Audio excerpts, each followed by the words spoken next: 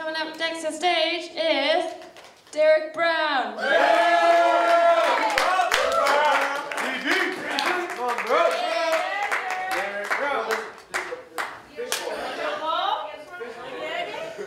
I'm not gonna do the ball.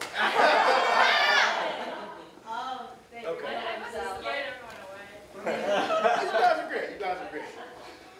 So, the night after the election. Last night, the streets became paved in drop jaws, and the sky a blanket of white flags waving. For there isn't enough newly legalized weed in our fair city to ease the quaking discomfort of our collective ache. I welcome the amputation. Use that rusty sword with native blood and strange fruit still cleaving to its blade. You can take this hand so that I can never again press colored ink into predetermined holes only for them to sell me an illusion of choice down at a designated voting poll.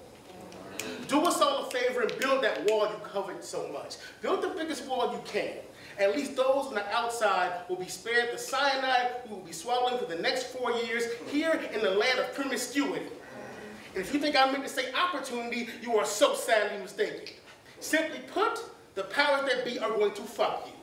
And they're gonna fuck you, and they're gonna fuck you, and they're gonna fuck you, and they're gonna fuck one, and they're gonna fuck all.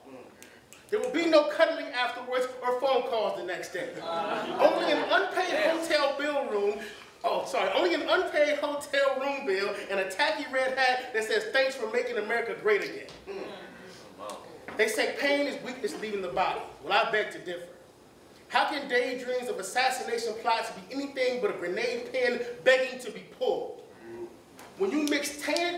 red poll results with a white 1%, you birthed a rainbow of kamikaze pilots looking for redemption in your kaboom. Yeah.